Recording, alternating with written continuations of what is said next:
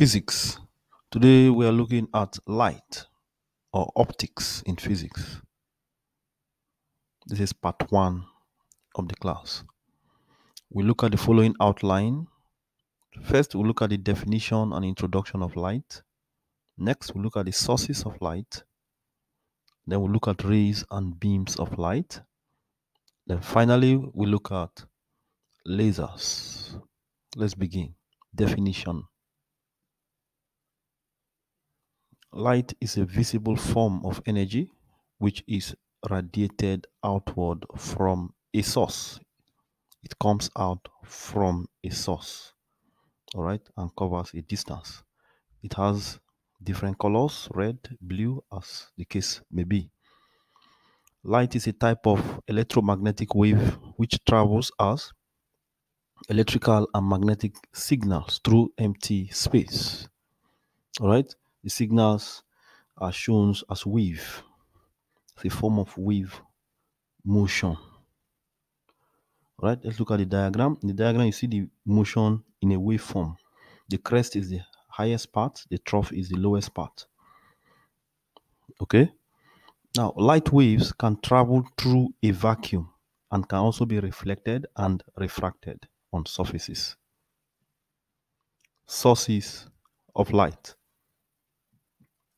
we have two sources luminous objects right?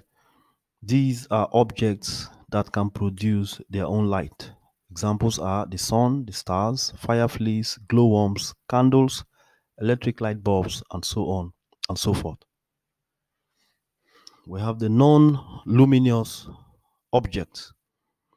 These are objects that do not produce their own light. They are seen when light from other sources falls on them. Examples we have road surfaces, book surfaces, wood surfaces, and so on. Rays and beams of light. The direction or path along which light travels is called a ray of light. The direction or path. Alright? It is represented with a straight line that have arrowhead as shown below.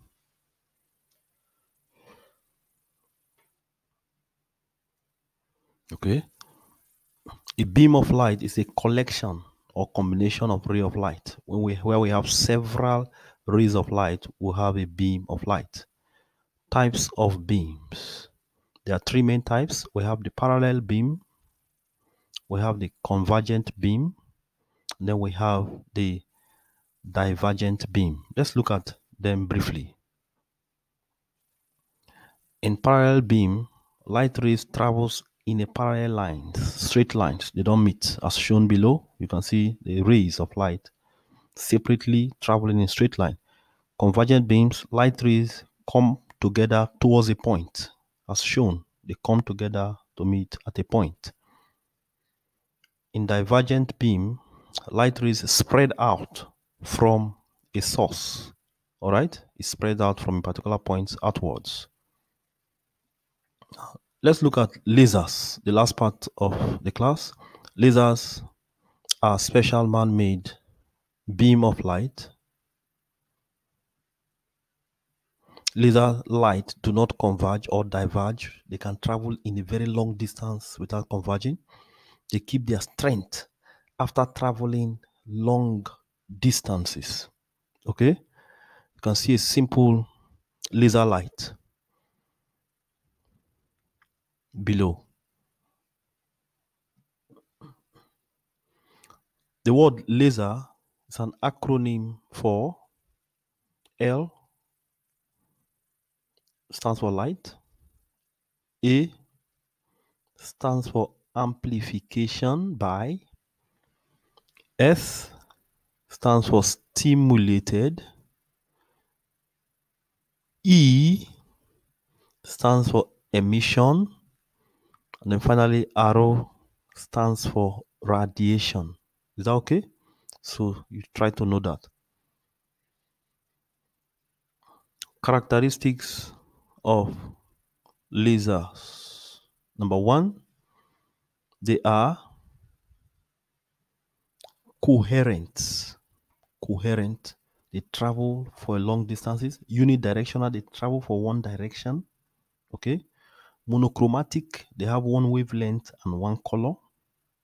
All right. And then finally, they have high intensity.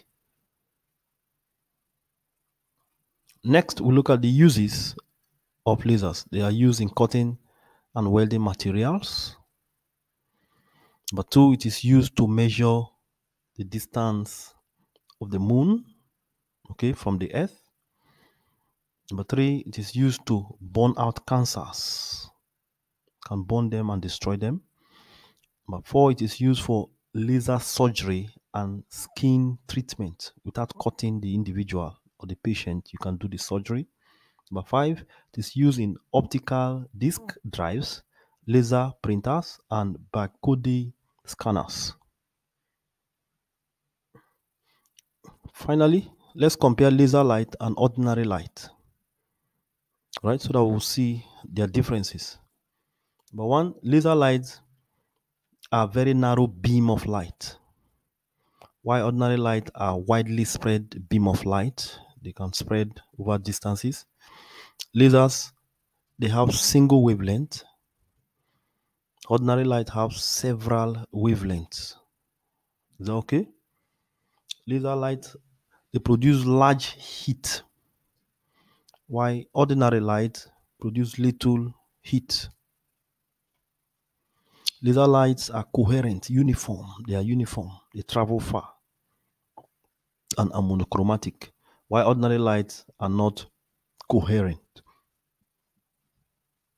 And then finally, laser light produces optical music, while ordinary light produces optical noise.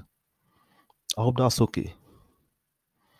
So go through the video again and enjoy the class.